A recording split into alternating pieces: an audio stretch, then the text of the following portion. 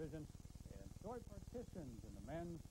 Gems, the defending champion, Troy trying to bring the men's title back to London for the first time in eight years. And finally, Jennifer, I got a story here about some uh, kids from southwest London. They are down at the Canadian Amateur Baseball Association 10 and under baseball tournament in Aurelia, Iowa. Uh, the local guys aren't doing too well. They dropped a pair of games yesterday. They lost today 12-1 to Kansas, so they're 0-3 so far. Tomorrow they take on Seattle, Washington. And then on Monday, they play both Georgia and New York. However, they tell me tonight by phone from Aurelia, Iowa, that even though they're 0-3 so far, they're having a good time and doing a good job of representing us. Ten and under. What a great chance for those kids. Honestly. Excellent. Just a riot Yes, for them. excellent. Yeah. Another hot day for you tomorrow, but not too sticky. Should be just like today. We'll see you tomorrow at 5.30.